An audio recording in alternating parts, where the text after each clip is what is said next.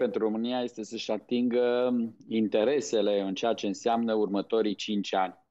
Uh, un interes este continuarea politicilor care au fost la Bruxelles bune pentru România atunci când vorbim de o Europa care să devină independentă energetic, lucru care se va întâmpla și cu România până în 2030. De aceea România a primit uh, în fondul de modernizare 14 miliarde de euro pentru energie verde. Al doilea mare obiectiv este creșterea infrastructurii uh, atât de cale ferată cât și de uh, mobilitate militară la nivel european și din nou România va beneficia pentru că mobilitatea militară este conectarea Europei cu estul conflictual din Europa, cu Ucraina în special, unde există un război nedrept al Rusiei față de Ucraina și aici vom fi beneficiari uh, neți.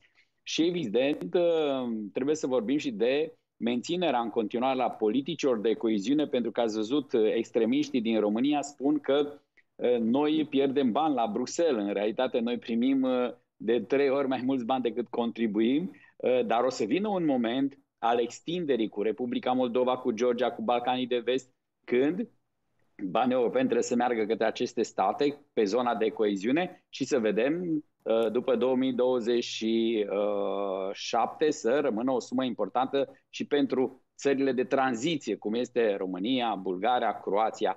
Aceste trei teme sunt foarte mari, pe lângă tema mare pe care și-a propus-o Europa pentru următorii cinci ani, reindustrializarea, trecerea uh, industriei europene la un nivel mult mai mare, folosind uh, cercetarea și digitalizarea europeană, știința din, din Europa, pentru a fi competitiv pe piața globală. Uh, vă pot spune că războiul din uh, Ucraina uh, creează și premizele să gândim această independență față de uh, Rusia, o independență față de China, un control și o relație mai corectă a ceea ce înseamnă economia europeană cu concurența economia chinezească, pentru că uh, balanța comercială da. este net în favoarea Chinei. Deci toate aceste lucruri se discută la nivel european. Încă o temă mai există la nivel european, migrația. Migrația care va avea în luna septembrie-octombrie un vot final a pachetului de migrație și azil,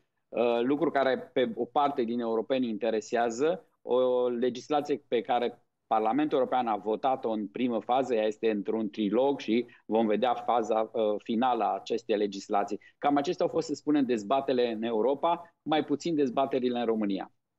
Da, uh, Cristina Prună, totuși un sondaj european uh, vorbește despre faptul că um, fricile europenilor, și nu vorbim doar despre români aici, sunt legate de teme economice foarte mult, dar și de, evident, de război, de inteligență artificială, culmea aici, pentru că probabil nu s-au explicat uh, foarte bine beneficiile noilor tehnologii.